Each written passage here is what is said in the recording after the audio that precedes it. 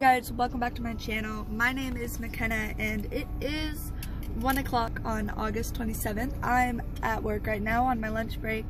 Um, today's video is more so for my family and not really for anyone else but um, today we had to put down our pug alice um, just from old age. She was almost 13 or almost 14 i don't remember which but very old for a pug.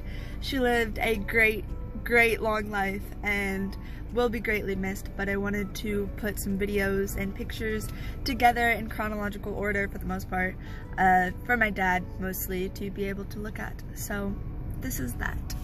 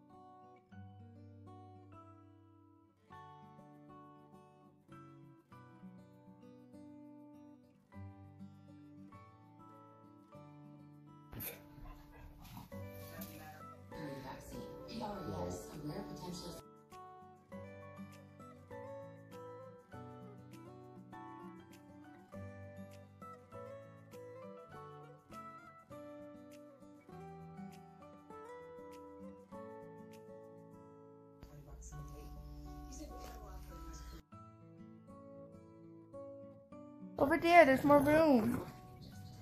Are you just gonna cry and ask for help?